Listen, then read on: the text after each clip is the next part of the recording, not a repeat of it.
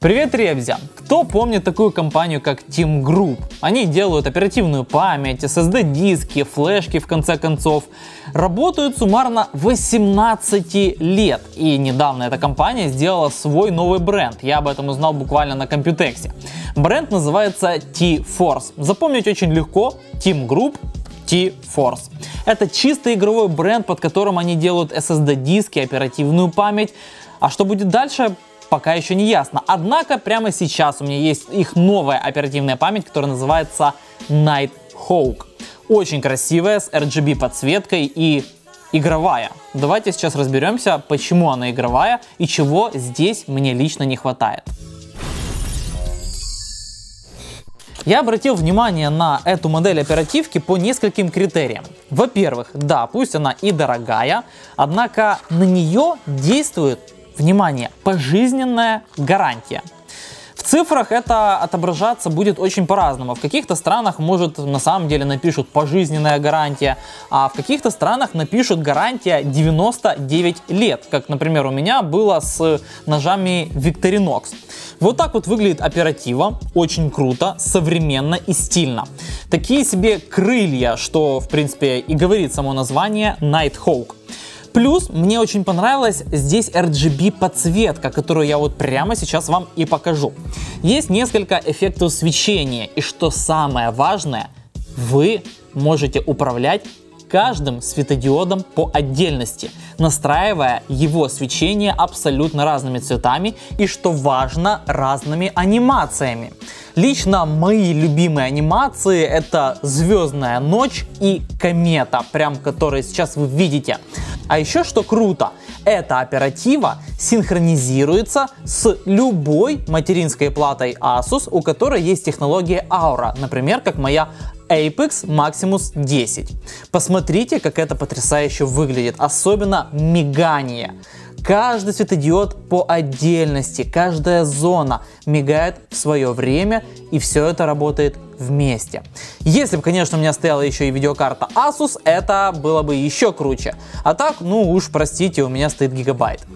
А теперь немного скучной, однако безумно важной информации для любого гика, который интересуется игровыми компами.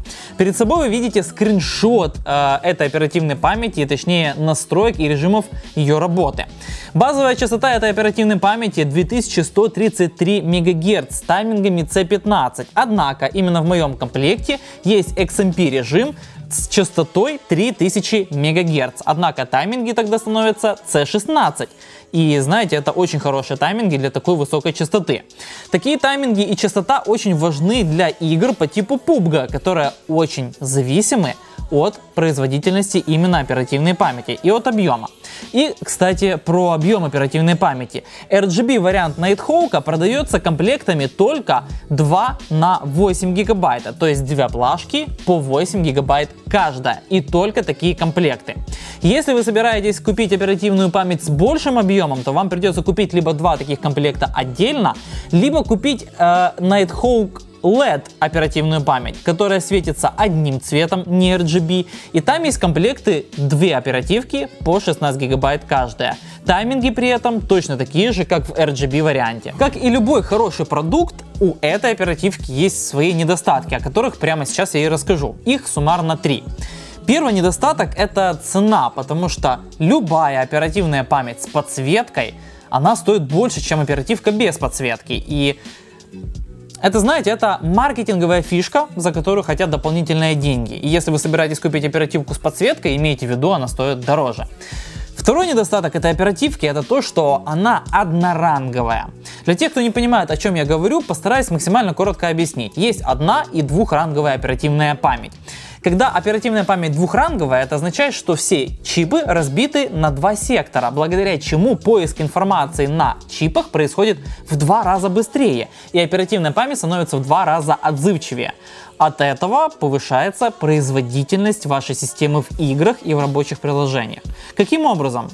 Да на самом деле по-разному. С процессорами Intel эта разница может быть в 16% в 16% ваша система, на 16% ваша система становится производительнее. Если это процессор AMD, то у вас система станет производительнее примерно на 11% при условии использования двухранговой памяти. И все это благодаря просто правильному подбору оперативки. И третий недостаток. Красивые птички, правда? Так вот, про недостаток. Он, конечно же, решаем. Как только вы закрываете корпус стеклом, либо дверкой с окном, все замечательно, вы ничего не слышите. Однако, система питания именно подсветки посвистывает. Когда подсветка работает не на максимальную мощность, свистит система питания подсветки. Как только 100%, полнейшая тишина и все замечательно.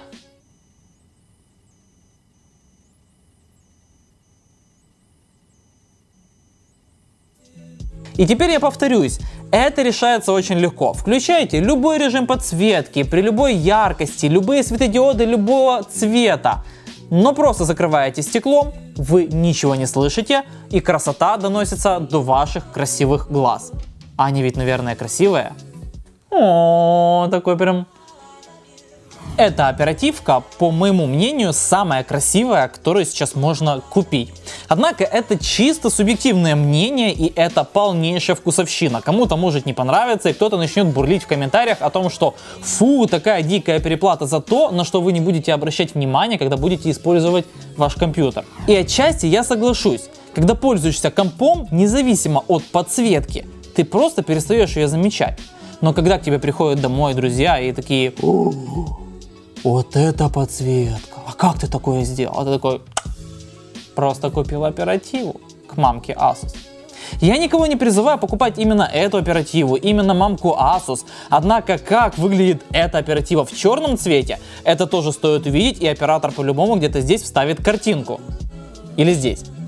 В любом случае, цена этой оперативки есть в описании этого видео. Плюс там же я оставил ссылку на другую хорошую оперативку, но уже без подсветки, чтобы вы не переплачивали лишние деньги. Кнопка еще будет на экране. Меня зовут Руди, а вы подписывайтесь на наш канал, нажимайте лайки, если видео понравилось, и я буду рад увидеть ваше мнение в комментариях. Всем до встречи, друзья, в новых обзорах и пока!